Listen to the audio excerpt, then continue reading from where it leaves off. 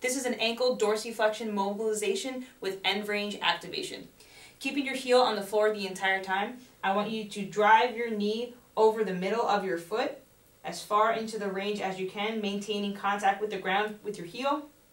From this position, keep your heel down, toes down. I want you to try to pull your foot up off the ground, engaging the muscles in the front of your shin to help further pull you into dorsiflexion.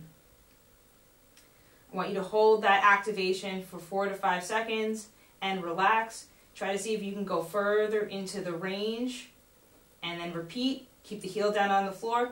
Keep your toes down on the ground. Try to pull your foot up off the floor, activating the muscles in the front of your shin again, and relax. And this is an ankle dorsiflexion mobilization with end range activation.